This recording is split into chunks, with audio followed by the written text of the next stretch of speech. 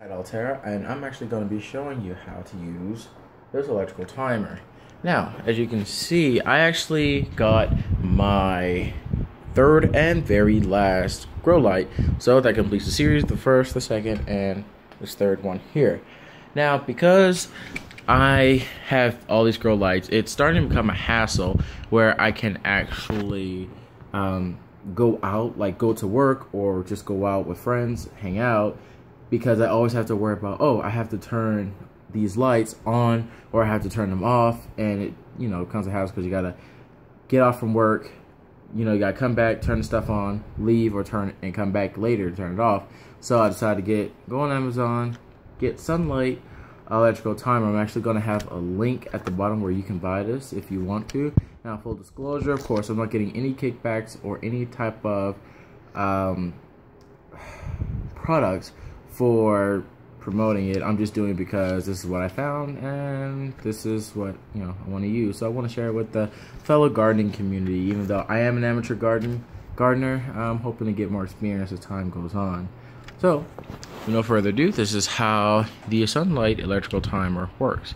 Now here you have these indentations uh, what you want to do is push these down for the specific model that I got. Every time you press it down, each little uh, division equals 15 minutes. If you look here at the light while it's shining, try and get this to adjust, you can actually see it.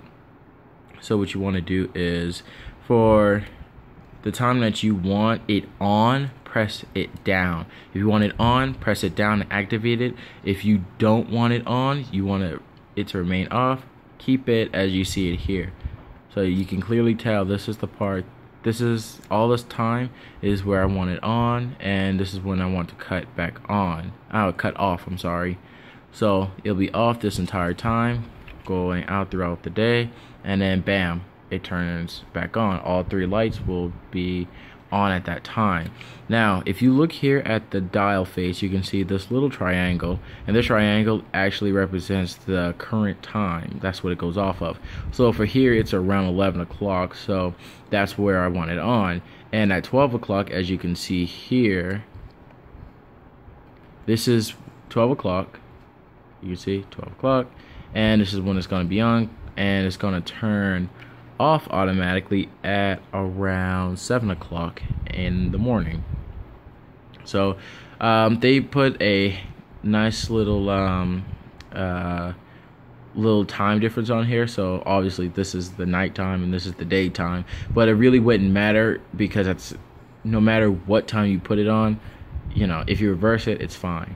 But it's just a handy dandy little reference tool for you. So also want to make sure here on the side that you have you have two uh, parts. You have the on switch, and then you have the T switch.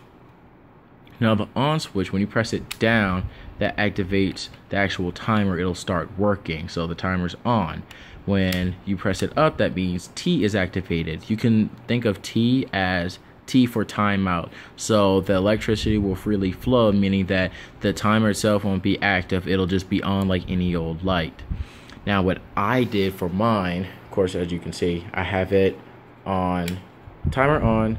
I have the time that I already wanted to set by pressing these down. Each one represents 15 minutes, and of course, you can push it back up, you know, if there are some times you want it to be more intermittent. But of course, I want mine for my plants to all stay down. Uh, so down is on, up is off.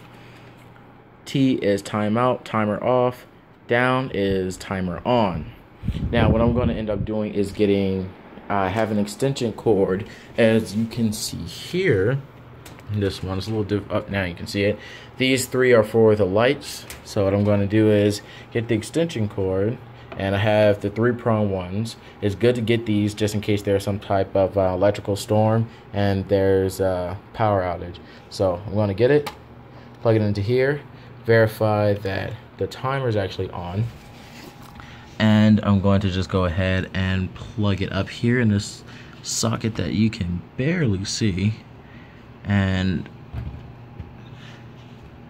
all right now it's on so uh, if you listen, you can actually hear it a little bit. So that's all you really have to do once 12 o'clock hits. It's gonna go ahead and turn itself on. But just for verification, I'm gonna go ahead and turn that. And as you can see, the lights are on. I'm gonna switch it down and turn the timer on.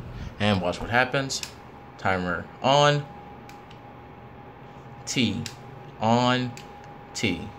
Alright, so I don't want to keep flipping it on and off. So right now I have the timer activated and it's plugged up and ready to go.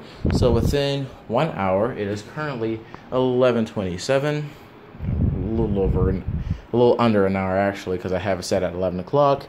12 hits for the timer. These will all turn on. I'll already be sleeping, so it wouldn't matter.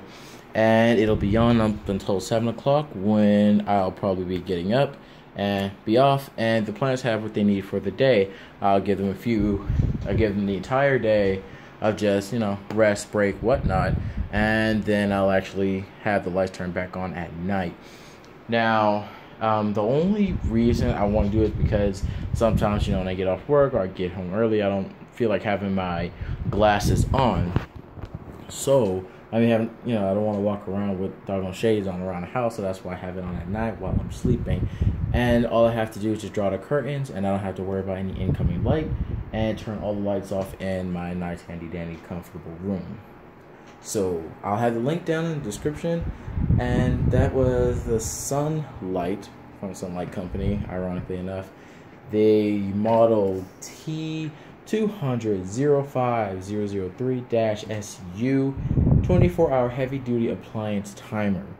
Again, full disclosure, I'm not getting any kickbacks for promoting them. It's just that I got my products from there, and I just want to share with you guys. So, uh, I'd like you to like the video, subscribe, share with your friends, and have a very blessed day. This is Kyle Altera. See you later.